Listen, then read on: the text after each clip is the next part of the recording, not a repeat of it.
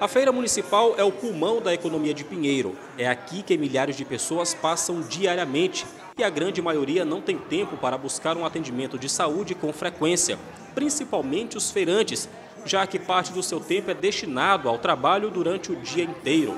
Pensando nisso, a Secretaria de Saúde destinou a estrutura e os profissionais para o complexo da feira, com áreas compostas por diversos atendimentos que vão desde a assistência social aos atendimentos médicos. É, bom dia, a gente está intensificando o serviço de saúde de uma forma que ele perdure.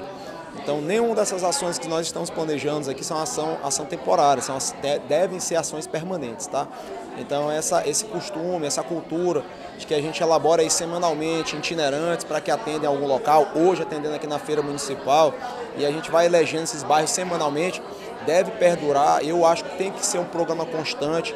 Esse legado deve ficar para que outros continuem essa tradição de fazer esse acerto, de estar mais em contato com a população, mais em contato com os trabalhadores, com os servidores, para que dessa forma a gente consiga abraçar aí uma saúde mais humanizada, que é a nossa bandeira. Nutricionistas, tratamento fora domicílio, saúde bucal, testes rápidos, aferição de pressão, distribuição de medicamentos, são alguns dos serviços disponibilizados pela Saúde Itinerante, que já realizou quase 10 mil atendimentos nas últimas semanas, contemplando sede e zona rural. Eu também aproveitei a oportunidade para me vacinar.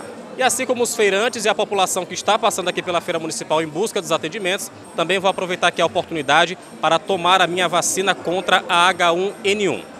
Estamos aqui com todos os atendimentos é, aqui na Feira Municipal, mais uma ação da Prefeitura e dizer que a gente está aqui como coordenador de vacinação para levar a vacina onde for preciso, onde a gente puder é, atender a população a gente vai estar fazendo nosso serviço. Para nós, como profissionais e pinheirenses, é muito gratificante ver a população sendo atendida, recebendo esses atendimentos.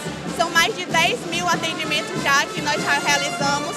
Então, para a gente, isso é muito gratificante. A Secretaria de Saúde a serviço da população pinheirense. Quem veio até a Feira Municipal aproveitou a oportunidade para fazer consultas e entregar exames aos médicos e saíram contentes com a atenção dada pelos profissionais. Hoje eu vim pegar um encaminhamento para fazer uma cirurgia, uma hérnia. Muito bom, muito bom. Entregamos o resultado dos exames e a nutricionista. Muito importante para a população pinheirense. Era para ter sempre, que é o que a gente está precisando. Eu não tenho problema de pressão, mas eu gosto de medir, medir de vez em quando. Ah, é bom.